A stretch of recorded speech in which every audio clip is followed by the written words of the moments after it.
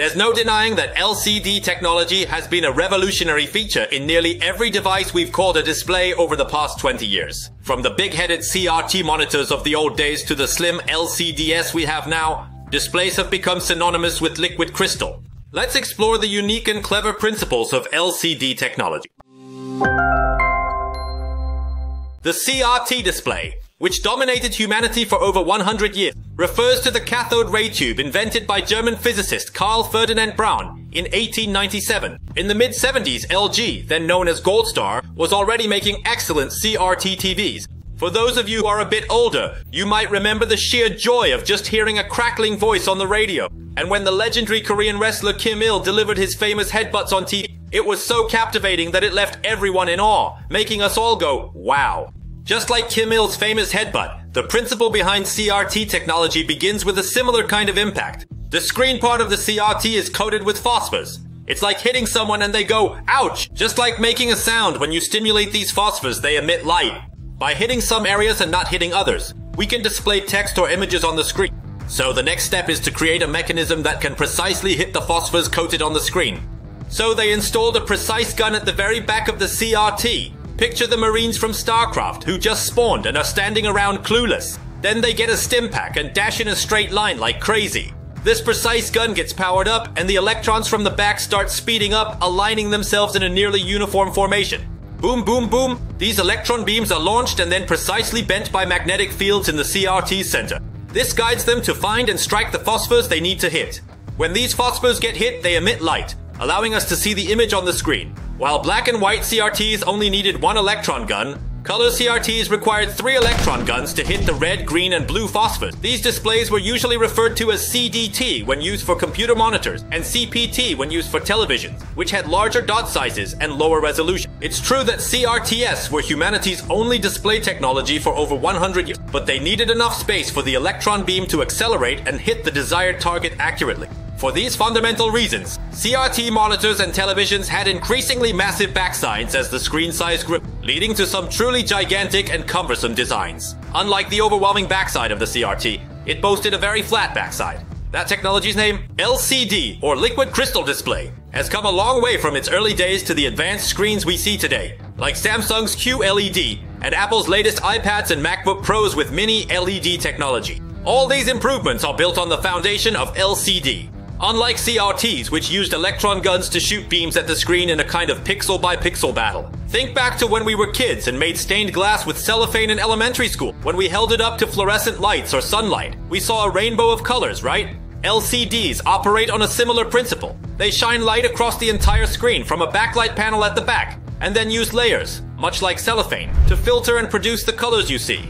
By adjusting the amount of light for each point and passing it through color filters, which are like cellophane, we can display various colors. The key components for controlling the light here are the liquid crystal and the polarizer. Whether it's from a light bulb, a fluorescent lamp, a candle, or even the sun, light always radiates outward in waves from its source in all directions. However, if you place a polarizer film in front of it, it acts like a sneaky filter, allowing only light waves oscillating in one direction to pass through. Now, if you add another polarizer film and align it in the same direction, the light will continue to pass through. But as you start twisting the second film out of alignment, less and less light will be able to get through. As the angle decreases and eventually reaches 90 degrees, no light can pass through. In an LCD, the backlight shines through polarizers that are oriented 90 degrees to each other. If light were to pass through in this state, no light would get through, and your monitor would stay off forever. However, by placing liquid crystals between these polarizers, we can ingeniously control the amount of light. Essentially, liquid crystals, which can transmit light like glass, allow light to pass through if their structure is twisted, following the twist pattern. Moreover, the twist in the liquid crystal can be controlled based on whether voltage is applied or not.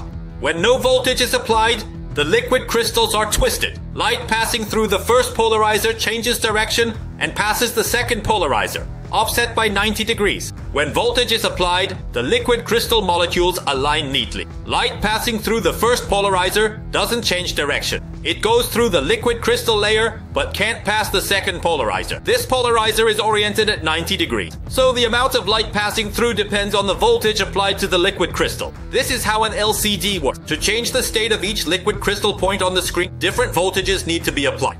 A transistor acts like a switch, determining whether current should flow based on the applied voltage. In devices with low resolution, like calculators, data is transmitted directly to each pixel. However, for standard definition displays in TVs or monitors, the sheer number of pixels makes it impractical to design a circuit that individually applies voltage to each pixel. The number of connections increases significantly. However, with thin film transistor, instead of needing millions of connectors, we can set addresses horizontally and vertically, applying different voltages to each. By adjusting the voltage differences between the horizontal and vertical line, we can design the system with only thousands of connectors in each direction. So by applying different voltages to each screen through the thin film transistor, we can control the liquid crystal twisting. This determines how much the light passing through the backlight and first polarizer will be twisted. Thus, we can control the light passing to the screen, achieving success.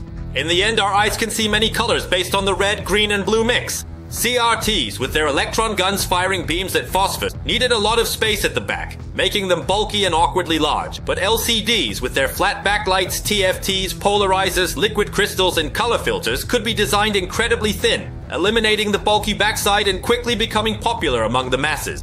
In the video, we focused on the early LCD designs, especially the TN type.